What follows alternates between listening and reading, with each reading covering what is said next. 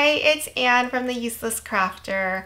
I'm so excited to show you this file. Um, it's so versatile and I love how delicate it looks, but that it's super simple. So basically this file can be for, the way I see it, it's a mirror right here. So it's like a mirror frame.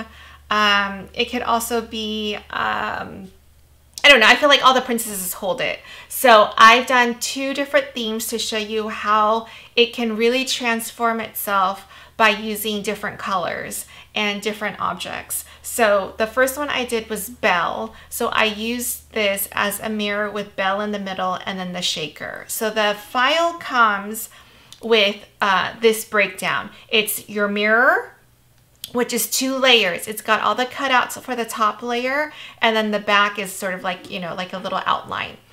Um, the background is the full background. This is where you're going to put your wooden dowel to, to glue to it.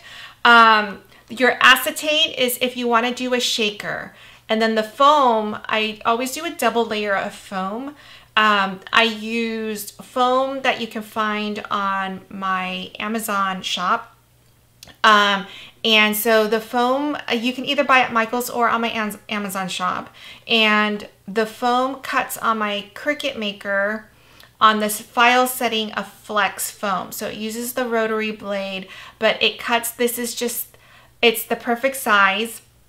It's not too thin, not too thick. And then it comes with a banner. So the banner you can put kind of, I've been putting the banner right around here. Now let me show you the other thing that I wanted to talk about. Um, yes, the foam.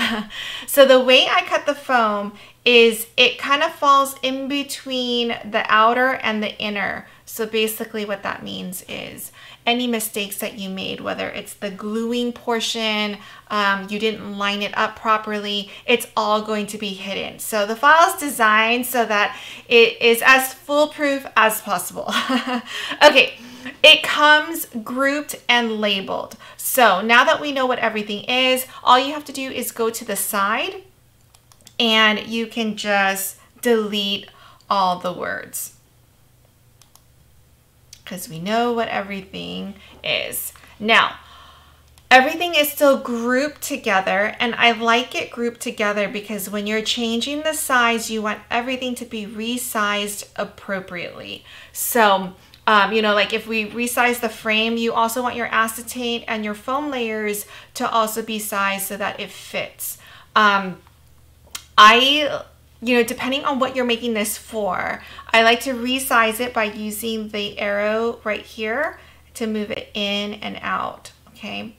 And then what I would do is, this background is a good, um, is a good, good way to gauge how big it is. So if you just click on the background, it will tell you this is about three inches across and four and a half inches long. So if you wanted to make something six inches, then go back to here, kind of eyeball it and see if you're closer to the six inches. And no, we're not. So just click on here again, maybe go that much. And now we're almost at six inches. Once you determine your size, then you can go and you can grab the whole thing and ungroup it. Now at this point, once you ungroup it, you don't want to change the size of any one particular piece, okay? You gotta change it as a whole. So I would always, like let's say you decided, oh, I wanna make this a little bit bigger, you can always go to select all so that it's all grouped together and resize it. Okay, so then you would just pick the colors. Now, if you wanted to do Belle, the way I did Belle was I went to images. You can buy an image from Design Space so we can look up beauty. Oops. If I can spell. There are some images through Design Space, so you can use that. And I just did, because it was, you know, on the smaller side, I did a print and cut. Oh my gosh, what just happened here? I don't want uploaded.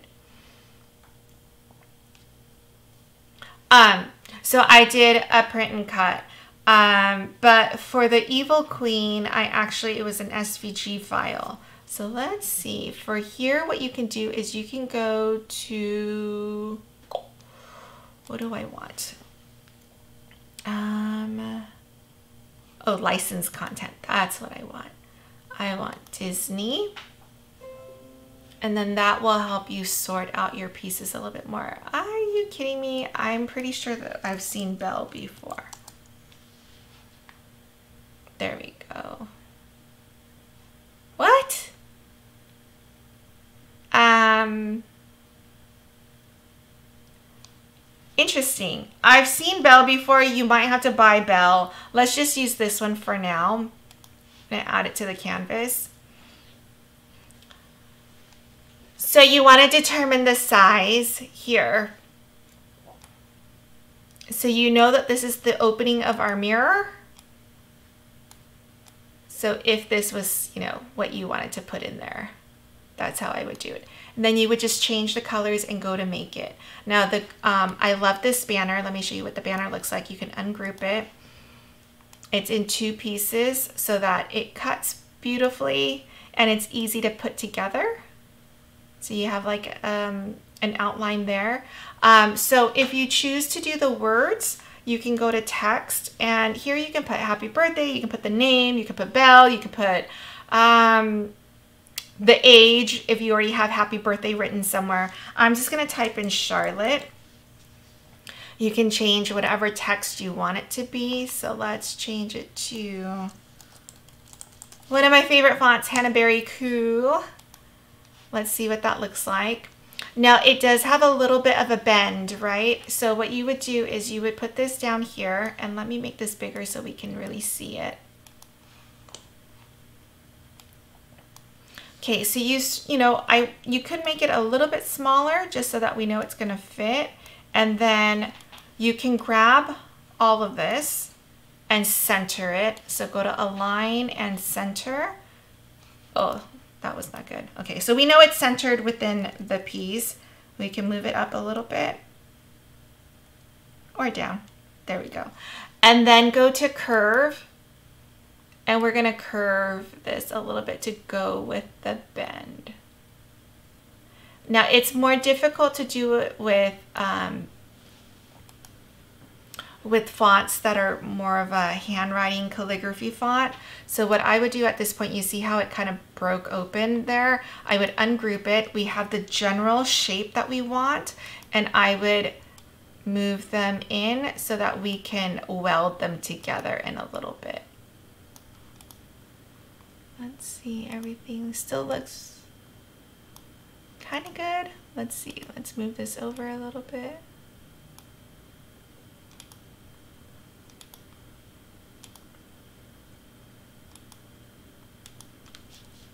Oops.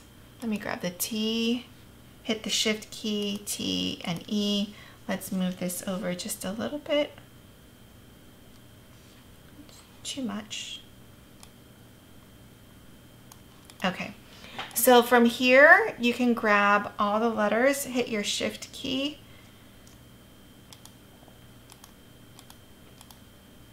and then you want to weld the name together, okay?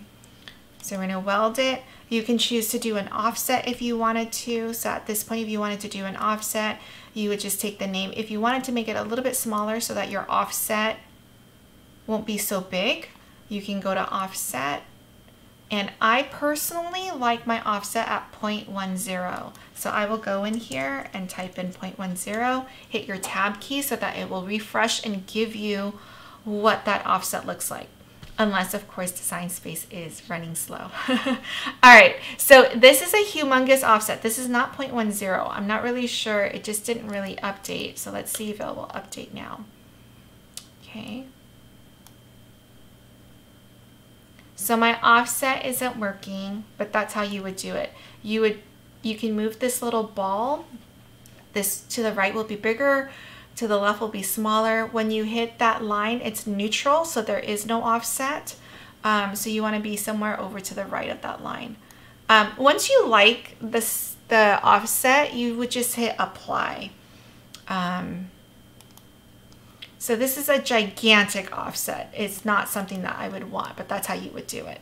All right, let's go to the make it screen so you can see what that looks like. I'm going to delete this for now.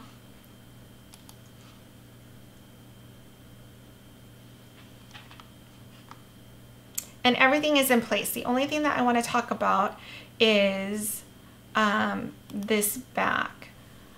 Some of you prefer that on your back, you're going to glue your dowel behind it. If you want to hide the dowel, you will want to duplicate this piece. So let's go back to cancel for a second. And you can see it's just a few layers. It's going to look amazing. Um, you've seen the two that I've done. I plan on doing a few more just to show you the variety and how easy it is to add something. When you go to duplicate, if you wanted to, for instance, have uh, your back be like a glitter cardstock, then what you want to do is when you duplicate it, you also need to flip it. So you can flip horizontal or vertical, it doesn't matter. But that way, when it cuts out, in this case, it doesn't matter because this is symmetrical. But when you don't have a symmetrical piece and you want to do that back side so that it hides the dowel, you always want to duplicate and you want to flip it so that the back, it's flipped over so that you have the pretty side showing.